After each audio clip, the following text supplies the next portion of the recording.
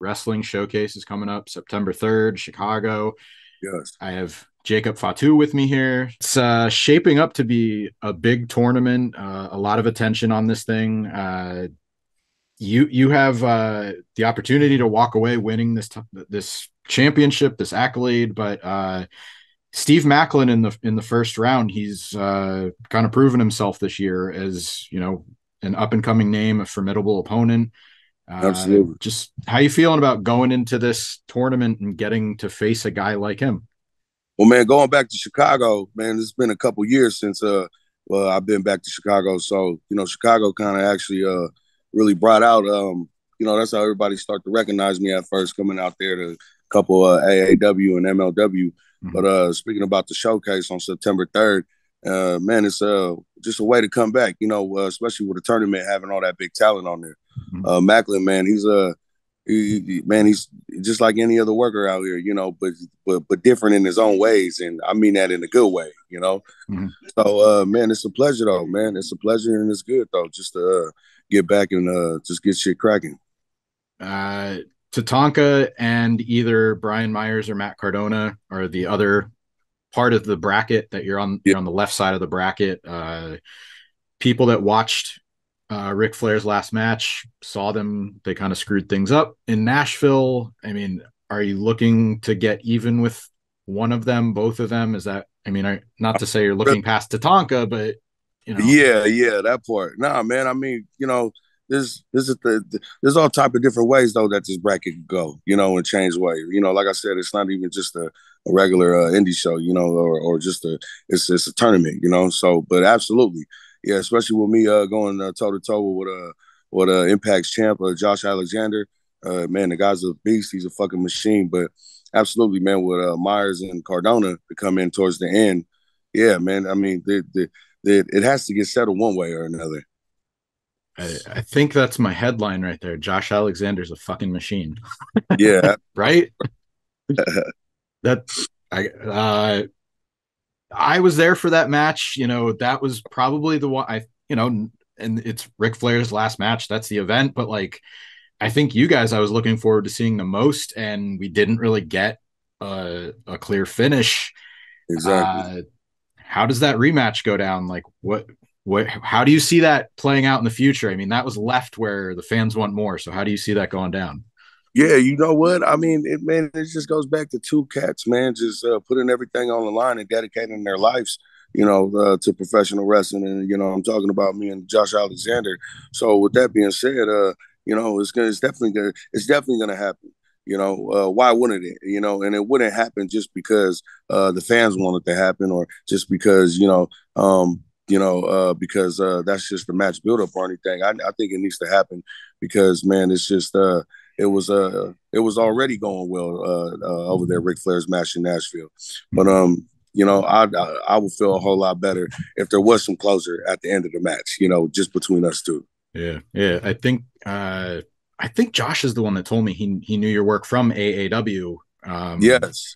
So you guys have kind of crossed paths over the years, not Absolutely. You know, absolutely. Absolutely, man. I mean, man, we cross paths, you know, in and out, you know. Um, he's seen me work. I mean, I mean, you know, because man, when when when you're on shows with other cats, you know, and you, you tend to see cats here and there and and the same cats popping up around the same show, you know, that must mean, you know, they're doing something.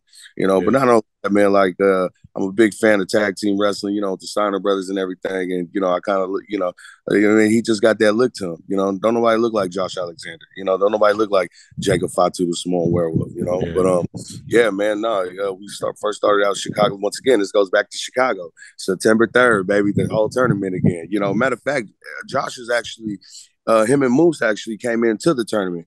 You know, mm-hmm. so I mean, hell, man, you might get a rematch later on that night. You know, who knows? You know, like I said, it's not a regular independent show; it's a tournament. So, and it, you know, things are liable to happen, and things are, you know, it could go, uh, uh, it could go any way. Crazy to think, like uh, when Josh was talking to me about like you guys working in Chicago and stuff. Nashville was actually your first singles match together, so you know maybe that yeah. happens. Maybe we get that in Chicago, but I don't. I don't want to look past you know what you have up uh, in the first round, potentially in the second round with you know exactly. Exactly. And, and, and you know, this goes back to once again, like they say in this business, man, everything is timing. And you know, like even though we didn't meet in AAW back then, like there was no better timing than to be in Nashville, Tennessee for Ric Flair's last match on a platform like that, in front of a, a, a crowd like that. And you know, not only that, in front of uh, man, there was so many different companies there. You know, don't so many different promotions there. And you know, we ain't talking about just what the promotion has to offer, man. We're talking about the best of the best. Mm-hmm. So you know, absolutely, that was the first time me and uh, Us has ever tapped in.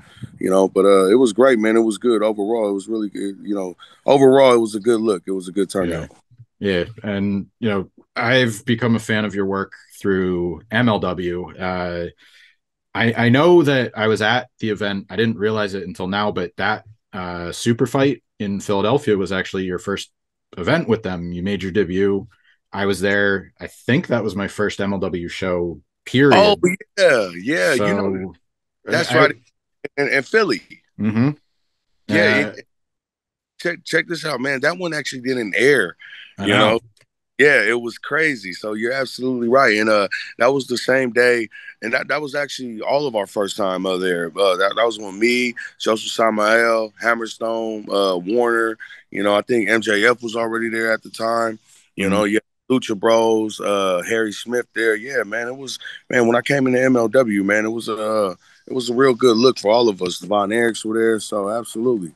Yeah, and you know, obviously the company's changed, the roster's changed, uh, but you know, you you've evolved as well. They've allowed you to, you know, you went from having a manager, you went, you did the Contra unit. Um, now, what I've really enjoyed is, and you could see it coming off as we're talking right now, you have you know tons of charisma, personality.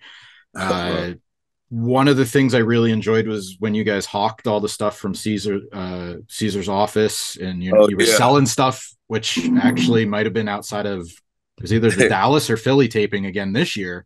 Yeah, twenty three hundred arena, man, legendary. Yeah, so there you go, Philly, Philly book book ending it. But uh, what's it been like for you? Just kind of getting to show that side of you. I mean, the, you were built as this like, you know, Samoan werewolf, silent badass assassin. Yeah. What's it been like for you getting to show a new side? Well, you know what, man. You know that's just me being me. You know, if anybody knows me for shooting the business, they know like I was just I, have always been the same.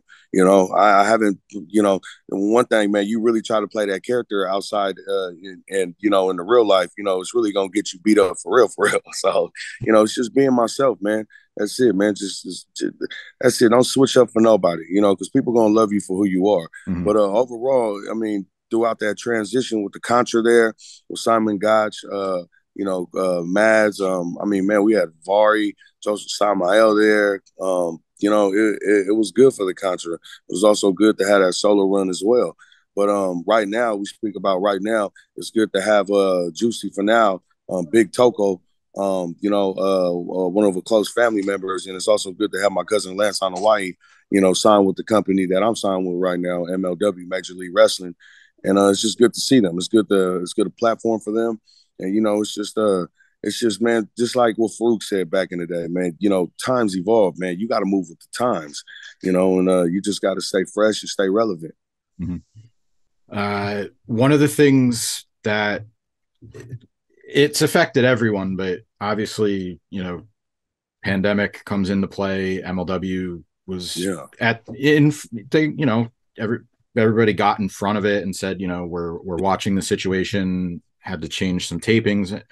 Uh, but is there anything that you maybe didn't get to do with Contra that, you know, you thought was a good idea? Maybe it just couldn't work in the current situation? Like anything that man, I I felt like it should have been war games. Um, when two rings, you know, they was doing, or I don't know if it was called war game. I mean, I might be saying the name wrong, you know, but I think um, it was War Chamber.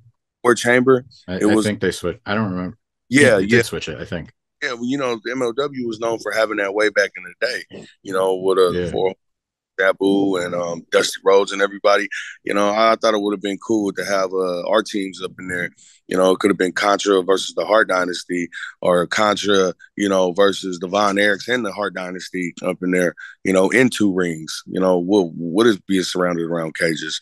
Um, that probably would have been it. Um, it probably would have been felt felt better to have Contra, you know, collect all the gold, you know, and I'm not saying that right now because, you know, uh, we know the tribal chief and the Usos right now, you know, what they're doing over there. But, you know, it would have been good, you know, for Contra to keep everything. And, uh, you know, probably have a little bit more six man tags with them, eight man tags with them. Um, but uh, overall, though, man, shout out to all the Contra fans. Because even though Contra's not together right now, when I still, uh, you know, I'm still making states and cities and shows, you know, there's, there's always the Contra shirt, man, or there's always the Contra flag flying around. So, uh, man, just shout out to uh, all the Black Hand followers out there for the Black Flag one of the things I'm looking forward to, uh, the the Battle Riot tapings, uh, they took place in June. MLW's on hiatus right now. Without, yes. Without getting too much into it, uh, there's you know some notable things that happened for you. There's yeah. some notable things that happened overall that move the story forward. Uh, but uh, I mean, do you have any update on when MLW comes back? I know there's tapings set you know up, what? but do you know when it's because that battle riot footage is like it's, it's there just, and I'm waiting for it. Yeah, so. yeah, I'm waiting for it. Court Bauer, MSL, man, y'all need to drop it now, ASAP. you know, nah, but uh, man, you know, uh, we uh, well, we were back at uh Queens at the Melrose uh Ballroom, I believe, in New York once again. Uh, shout out to all the fans in New York. I mean, man, Philadelphia, New York, and Chicago has just been crazy, you know, when it comes to my career. But, mm-hmm. you know, touch bases back on the battle riot, you know, I mean, man, we had some heavy hitters in there. You know, we had a lot of shocking returns, you know, a lot of good returns, you know, may I say. And, and I'm not just talking about one, two, I'm talking about four of them.